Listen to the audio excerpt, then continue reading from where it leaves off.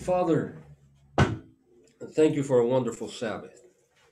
Thank you that we could rejoice in, in your presence, that we could that we could enjoy this this incredible Sabbath, Lord, this day of peace and, and rest. Father, we humbly invite you, come, come and guide us, guide our thoughts, teach us. We pray in the name of Jesus. Amen.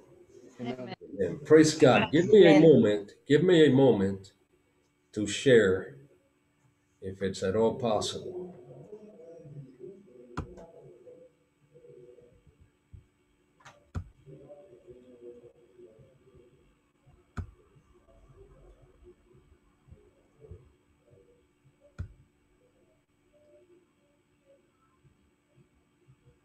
Come on, you can do this. All right, okay. Praise God. Amen. Praise God. Now, just a short while back, a few years back, if, if I don't know if you recognize this uh, mother and her child, but a, a young mother, a young mother wants freedom for her for her little boy. He's five years old. If you remember his name, Elián. God bless you, brother. The young mother wants wants her little boy to grow up in freedom. She joins 14 other people, and and they and at four in the morning, at four in the morning, when they believe that things are just right, they they get on a 17 foot boat, not really seaworthy, and they set out for the promised land. They set out for freedom. A- Anyone in Cuba, okay, anyone in Cuba knows that if you if you find the right spot in Cuba and you and you put your raft out, the current will take you either to Miami or Fort Lauderdale, around that area. So so these these people, 14, 14 of them, plus the little boy, they uh, they head out for America. Uh, we know the story. We know the story. There was uh, there was an incredible storm. I read that they were from 13 to 20 to even 30 foot high waves. I spoke to a young man uh, that I found, a young Cuban, a teenager, that, that he came in one of these rafts. And he says that after his experience, he would never do that again. Because as the water seems calm from, from the beach, from the shoreline, as you get into deeper water, it, it, it becomes a monster. I read the story where they were they were bailing the water out of the boat with plastic bags that they had taken plastic bags to, to cover their their uh, their needs, their uh, their food, their water, but it was useless. The boat sank. The young mother, the young mother, you know, mom is always thinking of her child. Mom is always protecting her child. The young mother takes the five year old and she ties him to an inner tube. The boat sinks, and now we have 14 people in the water. The water's very cold. She holds on to the inner tube and her little boy as long as she can. And finally, the cold of the water overcomes her and she drowns along with the 14 adults. I believe it was two or three miles off the coast of Fort Lauderdale. Two men who were fishing find the little boy. They bring him on their boat.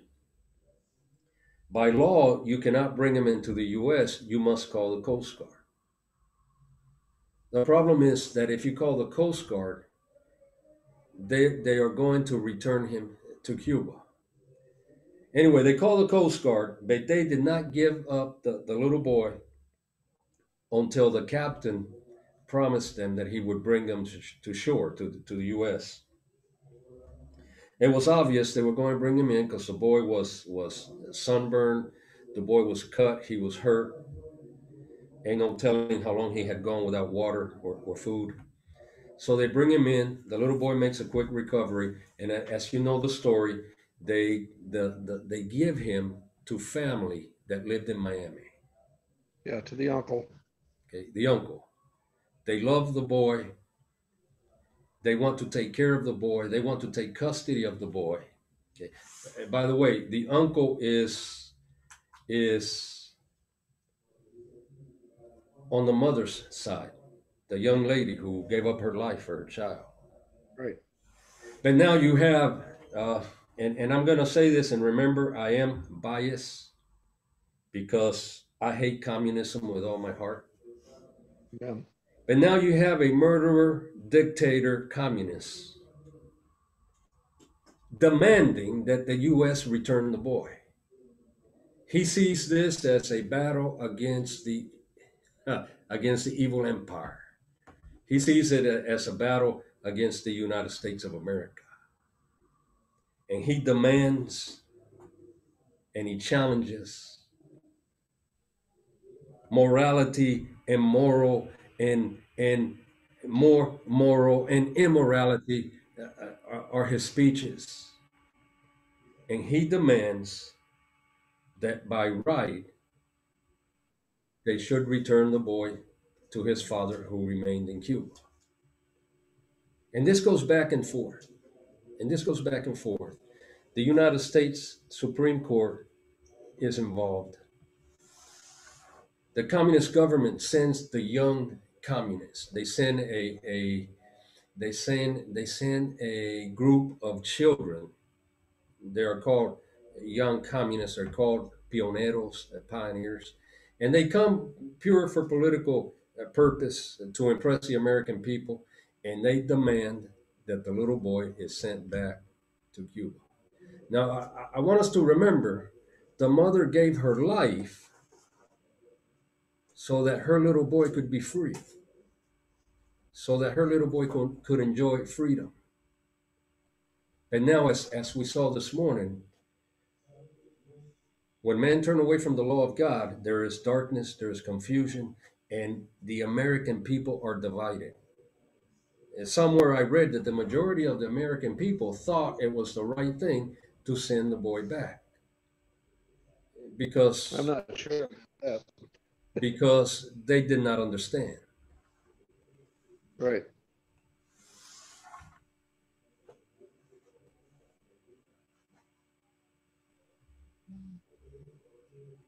Remember, the case is going back and forth. In the, the case is going back and forth in the court, from one court to another.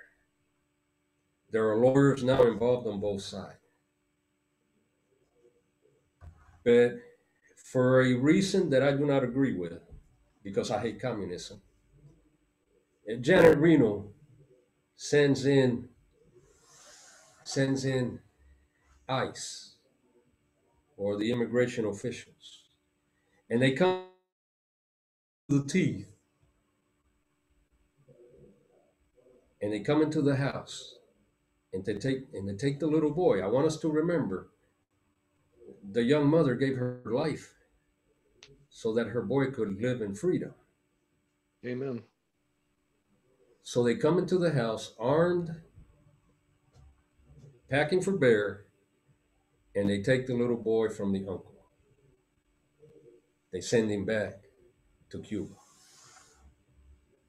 Now, what we as, as American people did not understand is that it was not a battle between the right of the father to keep the boy. It was not a battle between uh, immigration and, and, and the status. It was a political ploy from a man who was pure evil to show that he could defeat the United States of America. Yeah. From the Yeah. time that little boy was taken back to Cuba, he became a prop for a dictator. Amen. He took this little boy along every time he gave a speech. The little boy uh, today, I don't know if he has a choice or not, but the little boy today is a grown man who claims to be communist and he hates he hates the empire, the evil empire. capitalists. If you notice in the picture, the little boy is dressed in red, as the bodyguard is dressed in red. And today we're living, brothers and sisters, we're living in, in, in a time of confusion. And today we have forgotten that the love of the mother, she, she, she sacrificed her life so that her little boy could grow free. I, I, I don't know if, it, if this means anything to the American people anymore. I mean, we've seen that at the time of this virus, because of fear, people were willing to give up their rights. I've spoken to people who turn around and, and scream at me that millions will die unless we give up our rights. And, and by the way, listen, America has given up her, her babies, her children, in the name of freedom throughout history. If you if you go back to history and you see the Civil War, over 600,000 young American men gave their life for freedom. You know, you, you have you have World War One, you have World War Two, where America has sacrificed her children, her babies, for freedom. Mm. But I want us to remember the young mother, because she loved her baby, gave up her life to make him free. I want us to read, I want us to read the Word of God. Let's take a quick look at the Word of God. Help me here. Deuteronomy 5, verse 15. Watch this now. This is incredible. Remember, Jesus says, that you were a slave in the land of Egypt, and that the Lord God, your God, brought you out of there through a mighty hand and by a stretched out arm. Therefore, the Lord your God commands you to keep the Sabbath day. Amen. Amen. We always read Exodus uh, 20, and we almost never go to Deuteronomy 5.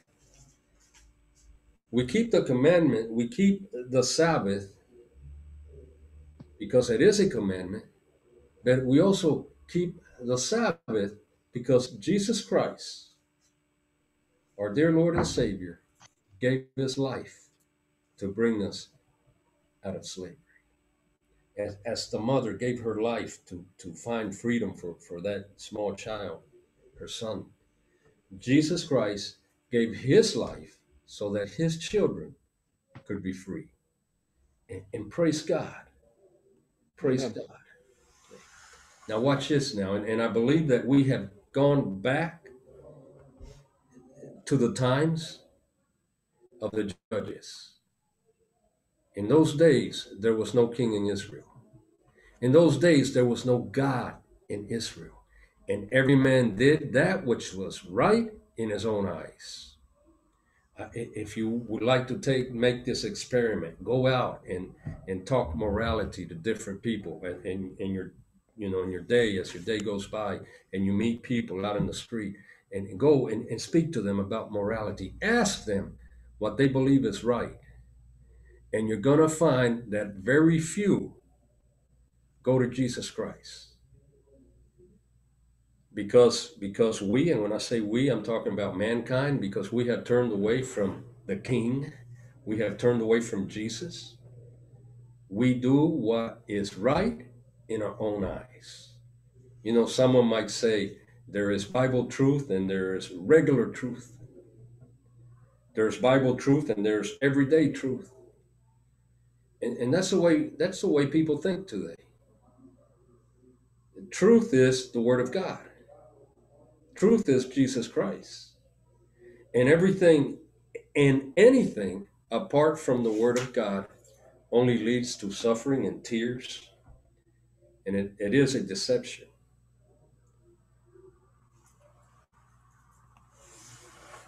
Again, to the law and the testimony, if they speak not according to this word, if they do not speak according to the word of God, according to the law of God, they are com- in complete darkness.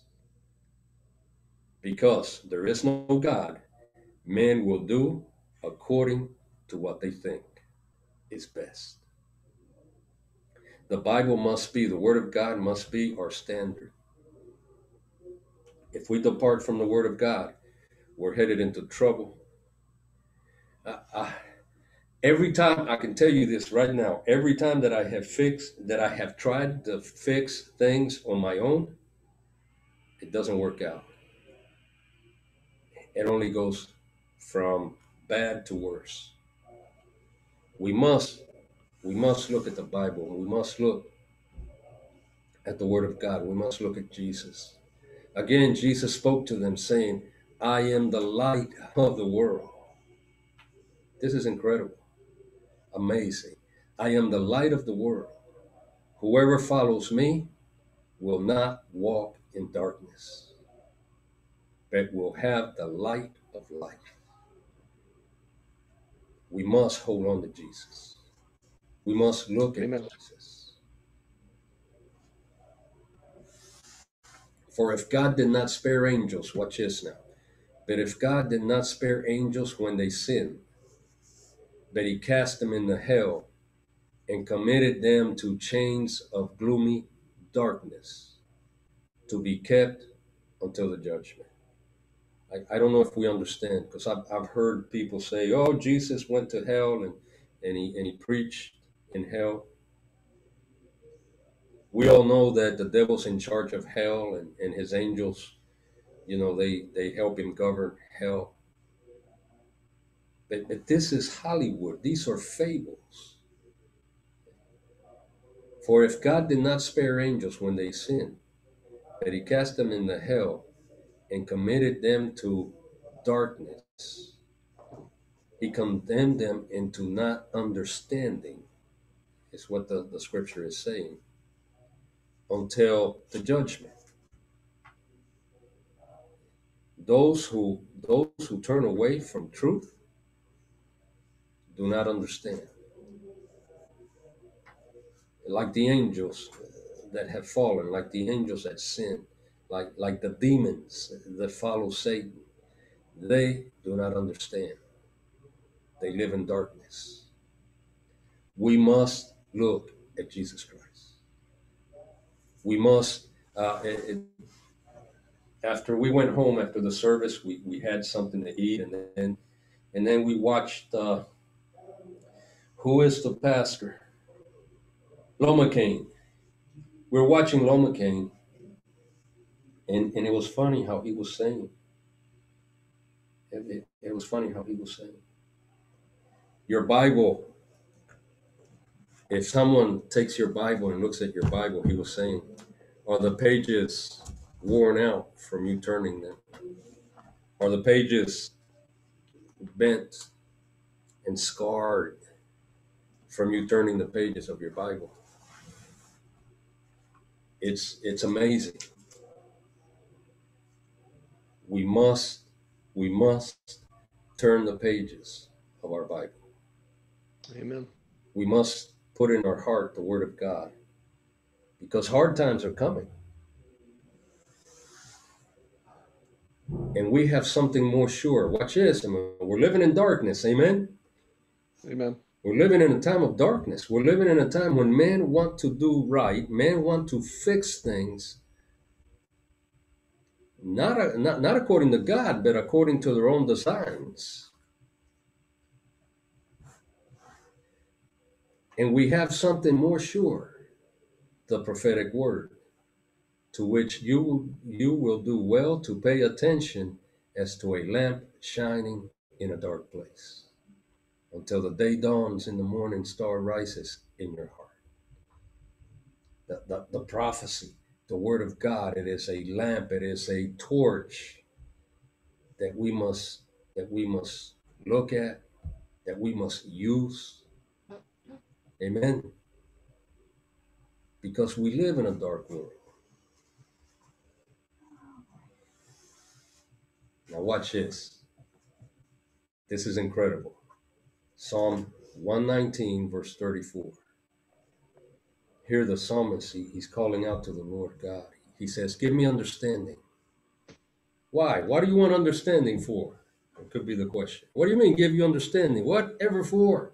Give me understanding so that I may keep your law and obey it with all my heart. Oh, please make this note, write it down, keep it in your pocket, keep it in your Bible so you can turn to it. You can see this prayer.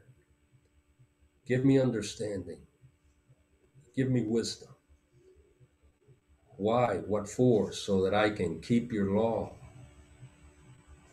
and obey it with all my heart. Now, watch this now. Watch this. Get ready. Get ready. Okay. There are two kinds of people in this world. There are those who love Jesus Christ and keep his commandments. There are those who will not keep his commandments. Your commands are always with me. Your commandments make me wiser than my enemies. Praise God. We have his word, we have his promise that if we keep his commandments, we will not be deceived. If we are a people who, who keep his commandments, we live by the faith of Jesus. And in the last days, we will know exactly what to do. You know, many of us today are wondering uh, do I move to the country? Do I sell? Do I not sell? How do I know when? We have the answer here. Your commandments are always with me.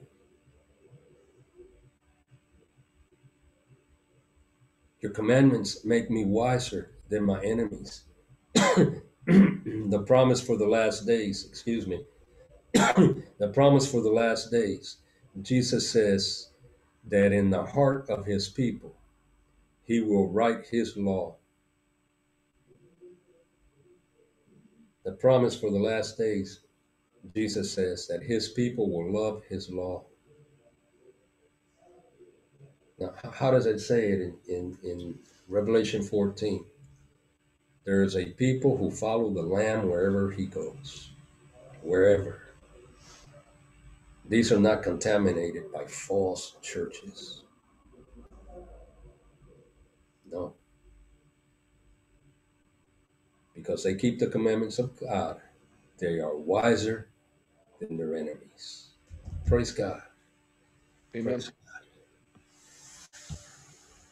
And I heard another voice from heaven saying, Revelation 18 4, I look forward to this so much. Then I heard another voice from heaven saying, Come out of her, my people. Come out of the darkness. Come out of that, that false church where they worship in vain because they keep the commandments of men before the commandments of God. Come out of that place where the pastor, the minister teaches lies.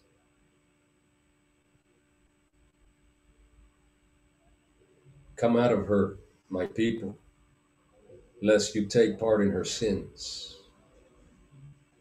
lest you share in her plagues. Oh, please share with those around you, your family, your friends. It's time to tell them to come out of the lie.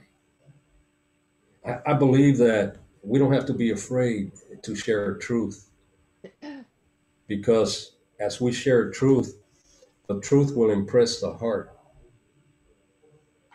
And this is how I was brought to, to the Seventh day Adventist Church. Okay, no one tried to baby me into the church.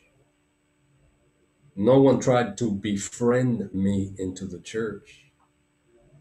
Someone came to my home and spoke truth to me and allowed the Holy Spirit to work and pull me out of darkness and, and out of sin and out of the lie and come to the truth. I believe we must be honest with those around us and give them truth.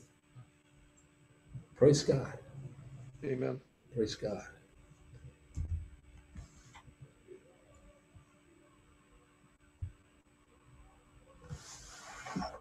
Praise God.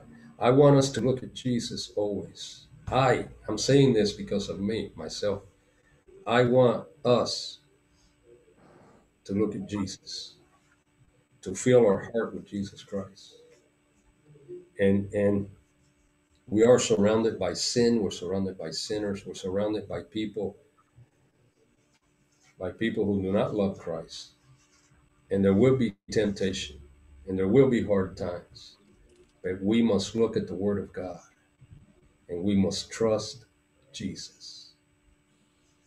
Praise God. Praise God. Amen. Amen. God bless you guys. I need two warriors. I need two warriors. You know, you know that that warriors have no fear. Amen. Amen. They trust in their general. They trust in their king. I need I need a warrior to praise God and thank Him for the Sabbath, and I need the warrior to ask for the blessings of a week coming that will bring to us incredible things and incredible blessings. A week that will bring to us the opportunity to share the light, to share life. Who's first? I'll pray. Amen. Dear Father in heaven, thank you for this beautiful Sabbath day. It was such a beautiful day, and thank you for the beautiful music, the uh, singers, our preacher. Uh, the word was just great, and we thank you for for allowing us to listen to your word and worship. Dear Lord, um, please be with us and, and, and guide us um, to continue to follow your word as we should.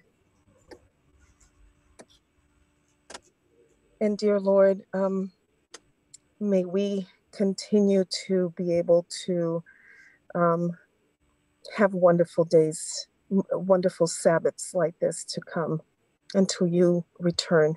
Dear Lord, bless us all. In the name of Jesus, I pray. Yes. Amen. Amen. Amen.